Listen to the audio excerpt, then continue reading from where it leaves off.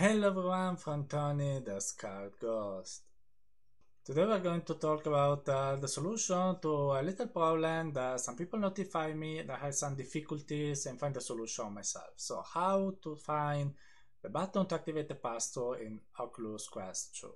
In fact, since when the um, passthrough environment was activated, it was easy to find it inside the virtual environment tab in the settings, but after runtime v29, it is not there anymore. So some people started wondering if this functionality disappeared from Oculus Quest 2, but actually it has just uh, changed position. So let me show you how to find it.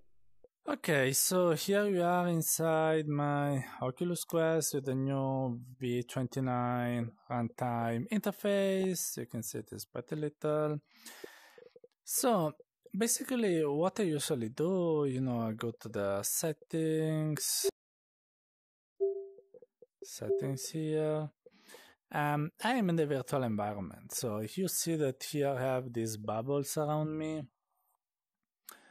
I don't like that much these bubbles, but it's okay.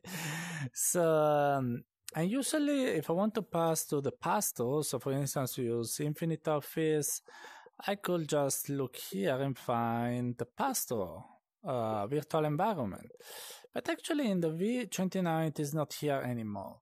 So I was quite afraid it was not available anymore. So basically for privacy reasons that it has been removed or for whatever security or for refactoring, many reasons could be. And so I asked on Reddit, actually people have me noticed that it is still the possibility of having passthrough, but it's not in a virtual environment anymore. So if before the passthrough was considered a virtual environment, now it is not. So you can choose the virtual environment you like the most, like for instance, space station, uh, the bubbles, or whatever. And then in whatever environment you can activate the passthrough going to the quick actions menu. It is here so here, if I click where there is the battery and the Wi-Fi, you can see quick settings. I click.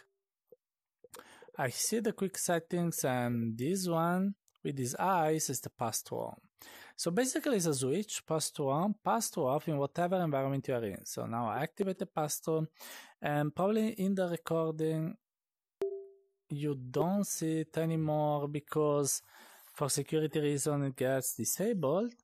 So you probably just see a black and but actually I'm seeing the passthrough of my house then when I activate it I see again the bubble. So you can see that for you is black for me is passthrough vision and then bubbles again. So ECPC is just in a different position and probably it has more sense because so you can choose the virtual environment that you want and then we just want to have the passthrough for some reason and just activate from here and then when you're done you write onto your virtual environment. So that's it. I hope this video has been useful for you so that you can activate your AR Home or your Oculus Quest 2 again.